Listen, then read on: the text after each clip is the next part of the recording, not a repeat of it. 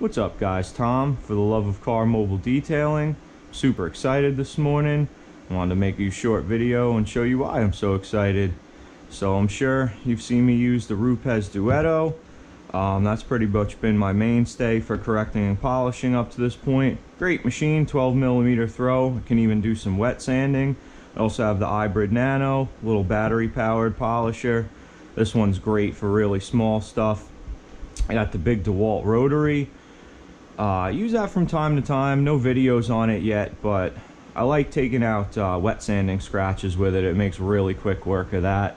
But on to why I, I'm so excited.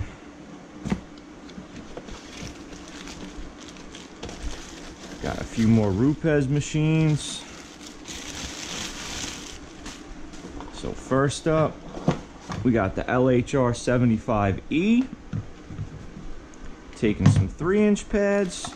Ooh, Rupes even gave us a 3 inch pad to try out.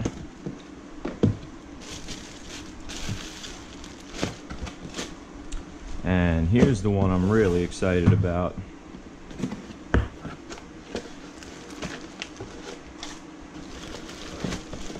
Oh yeah.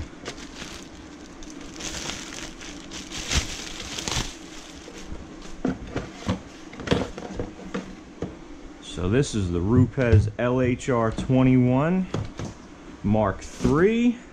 So now we got the progressive trigger. So for those of you that don't know, this is pretty much the industry standard in long throw polishers with the 21 millimeter throw. So this takes the six inch pads. So now we got this huge variety here, be able to polish any surface on a car.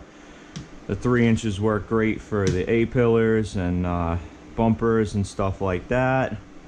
And then this will take out scratches much faster than this guy. I'll still be using this one quite a bit because it polishes awesome. So we got one more space here and I'm actually saving up for a Rupes Mille because I want to try a forced rotation machine. So, oh man, I'll be shooting videos on these guys soon and I'll see you guys soon.